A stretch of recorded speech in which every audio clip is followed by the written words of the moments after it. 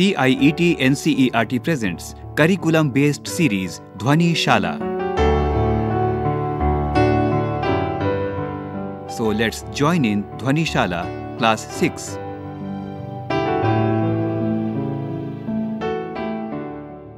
Hello, children. I am Amit Kumar Thakur, your friend. How are you? I know you must be enjoying these days at home by playing and playing a lot. But with this, we should also devote our some time to our studies. You are at home, but I am here to facilitate your studies. Dear friends, today we are going to present a meaningful discussion on the first chapter of your class 6th history book what, where, how, and when. Dear children, I was talking to my daughter yesterday about the Olympic Games. When she came to know that Olympic Games started 1200 years ago in ancient Greece, she was very much surprised. She asked, How could anyone know what had happened so many years ago? Her question was interesting, and I know that many of you also have such questions in your mind. This chapter will give answer to your all such questions. Dear children, let us play a game. I will ask you some questions and you will tell me the sources of your information for answering those questions. Okay? Let's start. My first question What breakfast have you taken in the morning?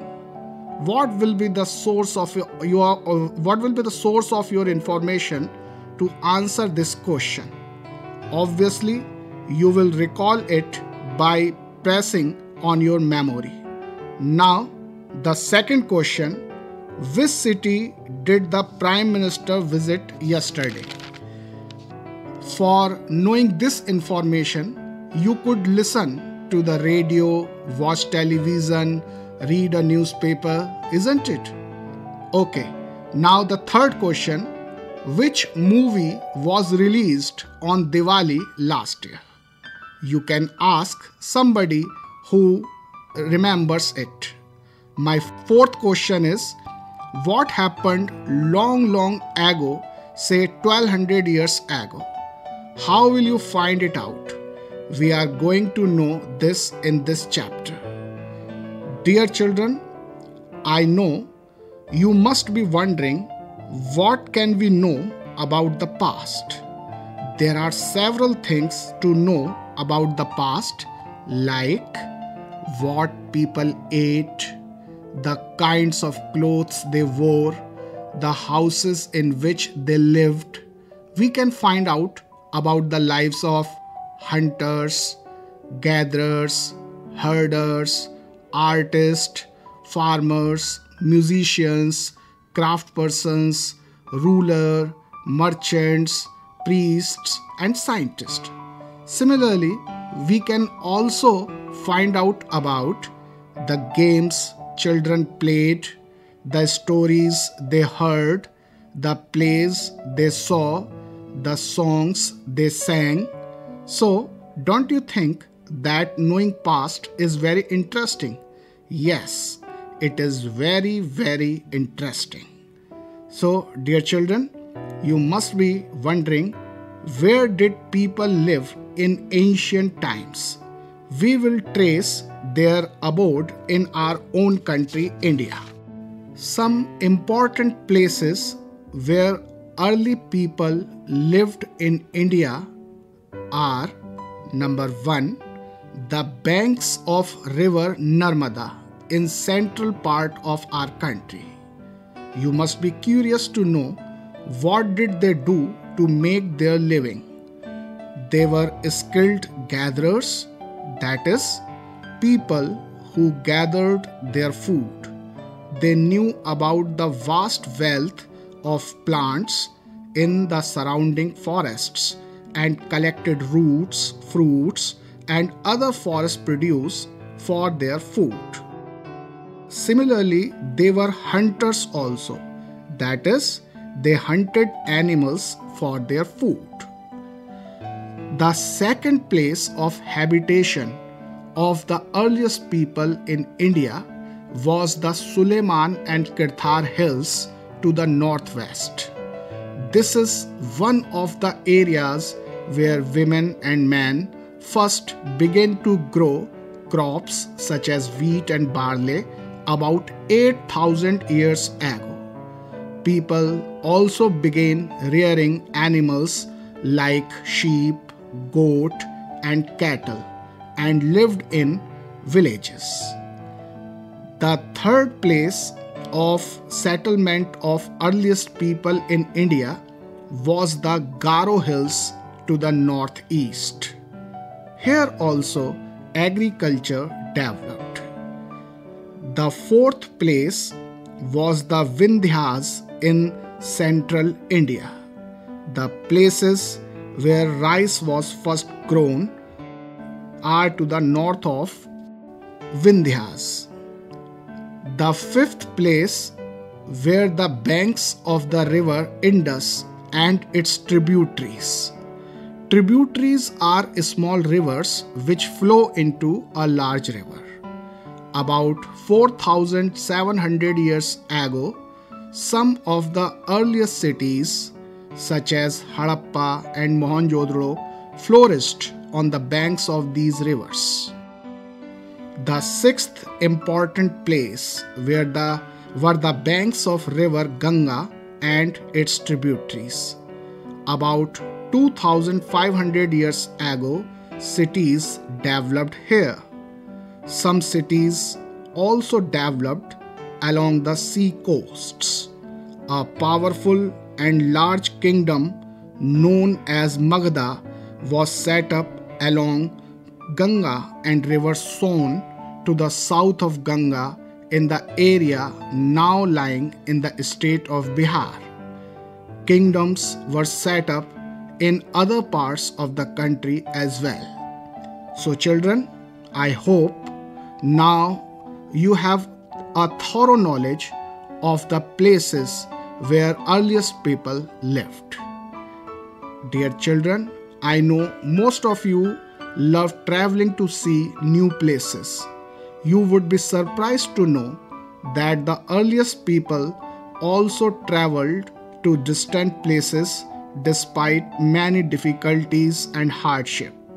The hills and the high mountains, including the Himalayas, deserts, rivers, and seas, made journeys dangerous at times but never impossible. Men and women traveled for the purpose such as number 1 in search of livelihood number 2 to escape from natural disasters like floods or droughts number 3 sometimes men marched in armies for conquering others lands number 4 merchants traveled with caravans or ships carrying valuable goods from place to place. Number 5. Religious teachers walked from village to village, town to town, stopping to offer instruction and advice on the way. Number 6. Some people perhaps traveled driven by a spirit of adventure wanting to discover new and exciting places. Can you imagine what might be the impact of these travels? All these travels led to sharing of ideas between people. People from across the frontiers also came into the subcontinent and settled here. These movements of people enriched our cultural traditions. Due to these travels, people have shared number 1 new ways of carving stone number 2 composing music number 3 and even cooking food over several hundred of years. These are the impacts of the travels of earliest people. Names of the land is the next topic of your chapter. Dear children, you must be knowing that we call our country India or Bharat. How did we get these names? First of all, we come on the name of India. The word India comes from the Indus, called Sindhu in Sanskrit. The Iranians and the Greeks who came through the northwest about 2500 years ago and were familiar with the Indus called it the Hindos or Indos, and the land to the east of the river was called Hindustan or India. Now we come on the name of Bharata. The name Bharata or Bharat was used for a group of people who lived in the northwest and who were mentioned in the Rig Veda. Later, it was used for the country. You also must know that the Rig Veda is the earliest composition in Sanskrit, dated to about 3500 years ago. So, I hope you are now clear about the names of our country. Finding about the past. This is your next topic of your chapter. Now, dear children, we come on our main question how do we find about the past? There are several ways of finding out about the past. Number one, the first is to search for and read books that were written long ago. These ancient books are called manuscripts because they were written by hand. Latin word manu means hand. Manuscripts were written on number 1 palm leaf or number 2 on the especially prepared bark of a tree known as the birch which grows in the Himalayas. You must be wondering whether manuscripts written on palm leaf or birch could survive for such a long period. Yes, your concern is genuine. Over the years, many manuscripts were eaten away. Number one, by insects. Number two, some were destroyed. And number three, but many have survived, often preserved in temples and monasteries. You must also be wondering what subjects these manuscripts are dealt with. These books dealt with all kinds of subjects like religious beliefs and practices, the lives of kings, medicines and sciences. Besides, there were epics, poems, plays. I know you all will be interested to read those manuscripts which contained epics, poems, plays, etc. Many of these manuscripts were written in Sanskrit, others were in Prakrit and Tamil also. The second source of knowing our past are inscriptions. Do you know what is inscription? Inscriptions are writings on relatively hard surfaces such as stone or metal. There were two types of inscriptions. Number one, sometimes kings got their orders inscribed so that people could see, read, and obey them. Number two, there are other kinds of inscriptions as well, where men and women, including kings and queens, recorded what they did. For example, kings often kept records of victories in battle. The third source of knowing the past is archaeology. The archaeologists study the objects that were made and used in the past. These objects include remains of buildings, paintings, and sculptures, tools, weapons, pots, pens, ornaments, and coins, and bones of animals, birds, and fish. So, manuscripts, inscription, and archaeology are the three main sources for knowing our pasts. Here, you must also understand the difference between an archaeologist and a historian. Archaeologists are the persons who study things that were made and used in the past. They also explore and excavate to find tools, weapons, pots, pens, ornaments, and coins. On the other hand, historians are the scholars who study the past and tell us the history. Historians and archaeologists are like detectives who use the sources like manuscripts, inscriptions, and archaeology like clues to find out about our past. Having understood the difference between an archaeologist and a historian, now we can come on another interesting question one past or many? This is our next question. The name of our history book is Our Pasts.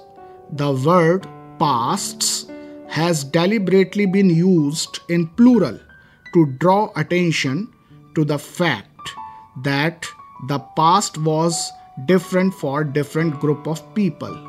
How was past different? Number 1. Firstly, lives of different sections of people were different. For example, the life of herders and farmers were very different from those of kings and queens. Secondly, people followed different practices and customs in different parts of the country.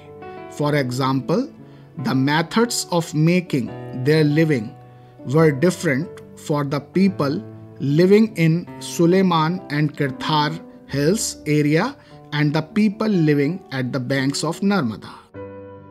Thirdly, there was also the difference in the type and quantity of sources available for knowing the pasts of different people.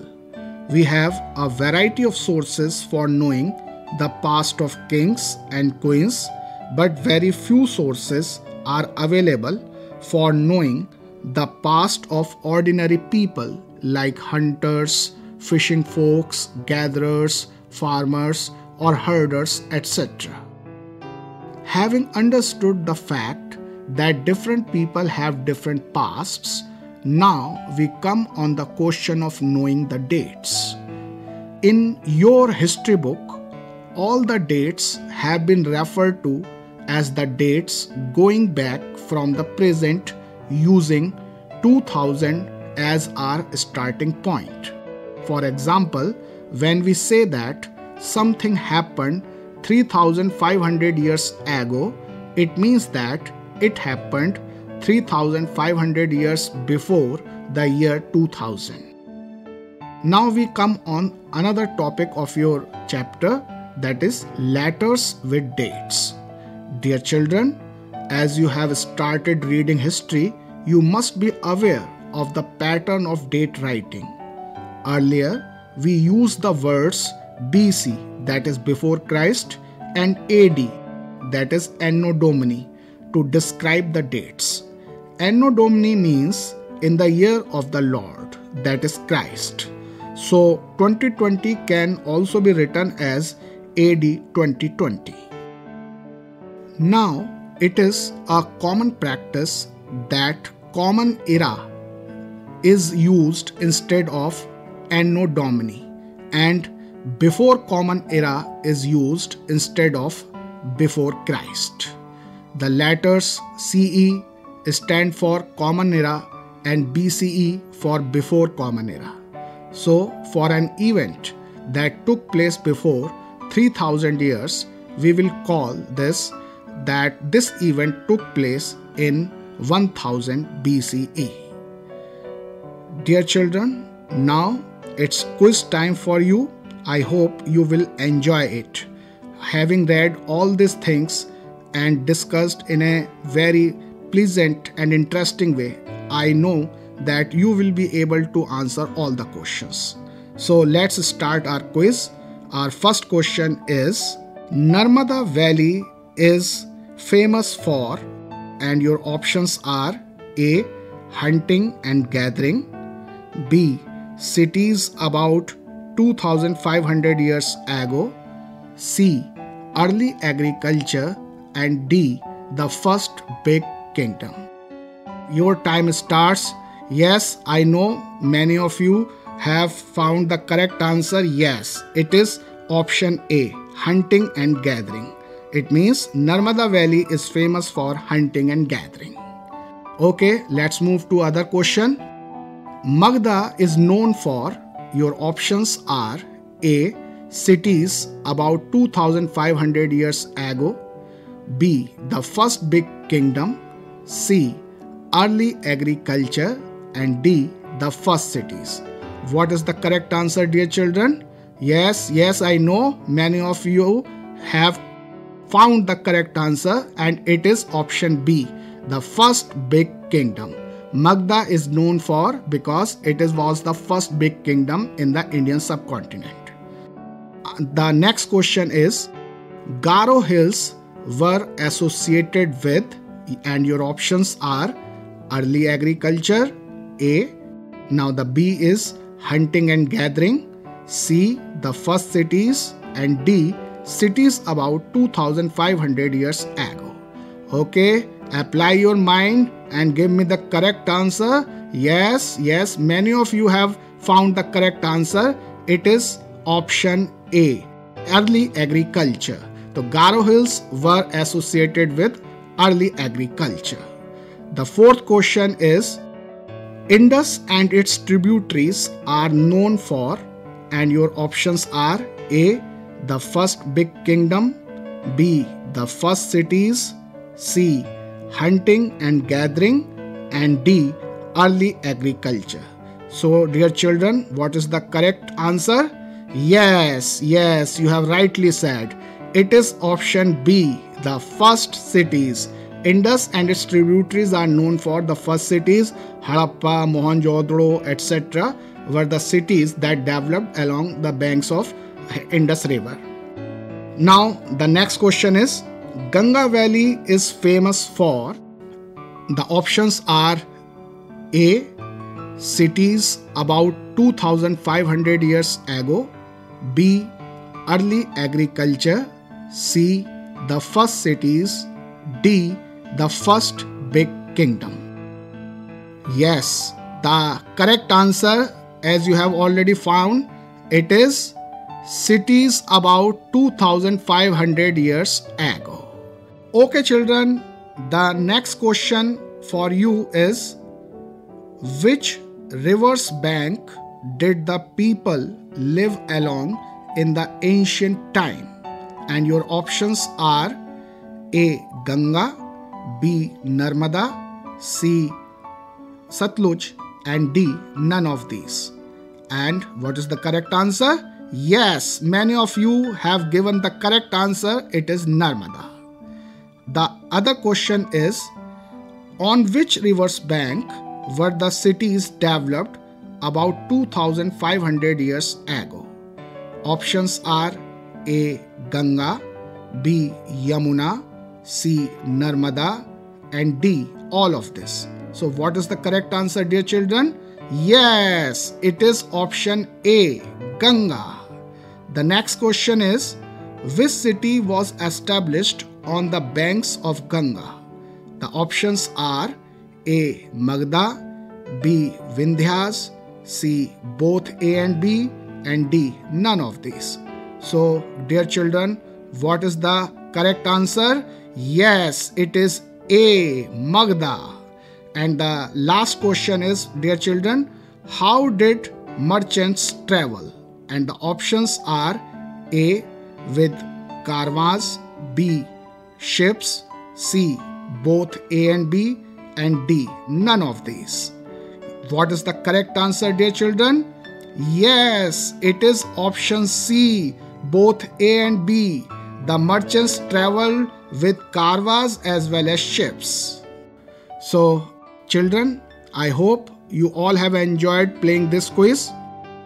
With this, dear children, we have completed this first chapter of your history book of class 6th. I hope it will help you a lot to continue your studies even remaining at home. Play, sing, dance, and enjoy a lot, but also keep your focus on your studies. I, Amit Kumar Thakur, your friend, will meet you in the next program. Till then, tata, bye bye. You are just listening to curriculum based programs Dhwani Shala. Production assistants Meenakshi Kukreti, Tanu Gupta, and Jagbandhu Jana. Recorded by Bati Langlingdo and Shanu Muksim. Produced by Ajit Horo. This program was brought to you by CIET NCERT New Delhi, India.